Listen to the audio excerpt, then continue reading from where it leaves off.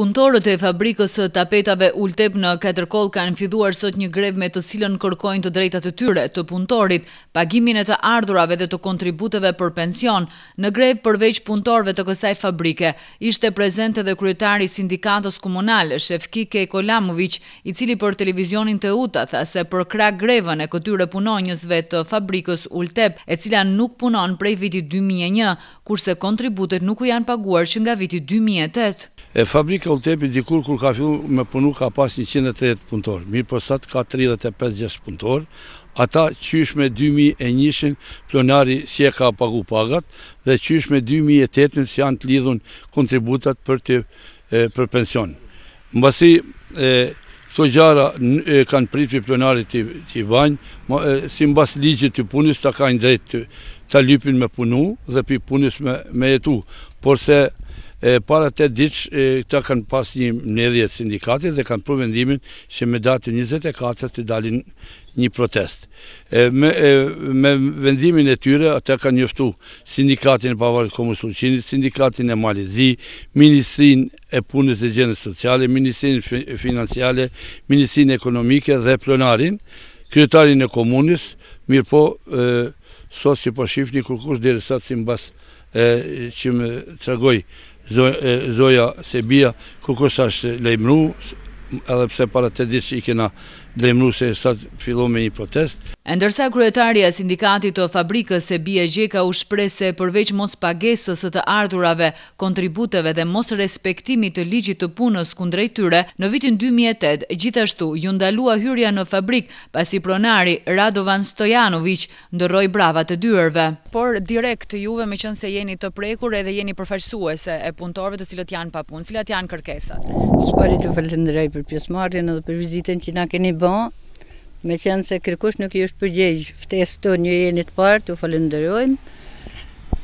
Por ne kena provu disa herë në mënyrë të qetë, i kena kërku për me pas bisedime nuk lajmërohet, meqenëse kjo është shoqni aksionare, na nuk kena kurrfarë dokumentit këtu se kush e ka shumicën, veç është prezantu pronari me fjalë e jo me letra, na si punëtorë të paktën nuk e dimë, kena njëzet e tetë nëqindshin, asnjëherë nuk ka majtë pronari që e ka shumicën asnjë kuvend, na nuk jena thirrun, e ka lënë me shku krejt në këtë gjendje siç e shihni, Punëtorëve nuk u ka pagu as kontribute, as të ardhunat e tyne personale që u takojnë rrogat, meqenëse s'kanë punu, duhet, s'ekziston asnjë dokument që janë pushim të dhunshëm të paktën, unë nuk e di se çfarë statusit kanë punëtorët e mija, për atë i kam lajmru gjithë Që kanë kompetenca këtu, po kërkush nuk më është përgjegjë deri në këto momente. E nëse do të vazhdoni të mos merrni përgjigje, juve si do të reagoni?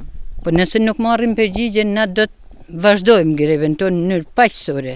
Nëse prapë bjen vesh shurdh edhe një herë, na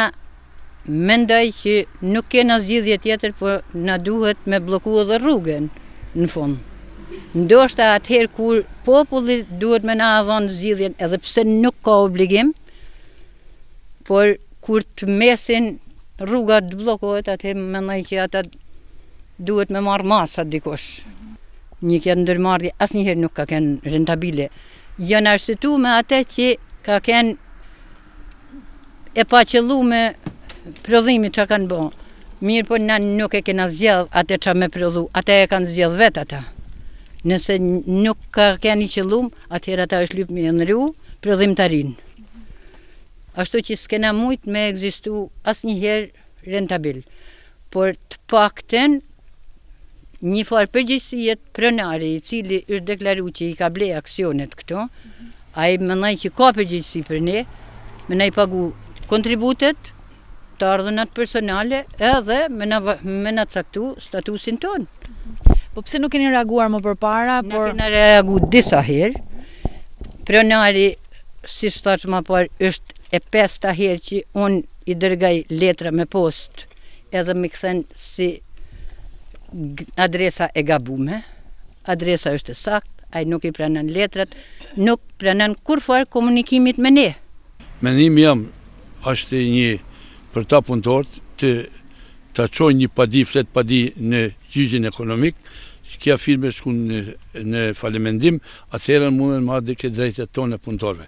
Me ta manë si tha dhe Sebija, ata janë edhe aksionarë, pra akset kërkujt nuk i shkojnë ata rrinë, se rrugëdalje tjetër nuk shof. Se pronari s'asht i interesum me financu dhe m'u nis puna, se statusi i punëtorve asht asesi, mbas ligjore. Është martu, ka lind, është shkollu, fëmija i saj, pa i kontribu nëna asnjëherë Të paktën një çokollatë atij fëmijë. Na i kanë lidhë kontributet, ka kenë e tynja, ata kanë aksionet ma të mëdhaja.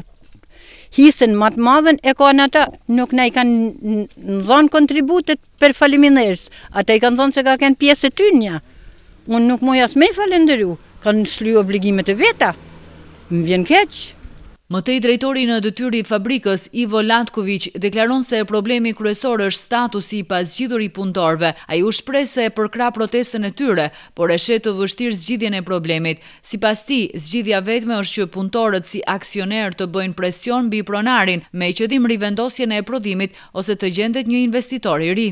Sëse ti që ultepa i djela, radnika, ultepa jedno 50% od njih je e, uzelo 24 lična e, dohodka po 1960 eura i mi smo im, ja kao neki predstavnik pa eto tu iz Ucinja da pomognem, smo povezivali radne staž do 2008. Od 2008. na ovamo,